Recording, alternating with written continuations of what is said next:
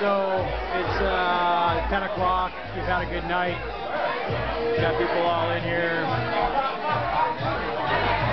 This is the uh, subsection. Um,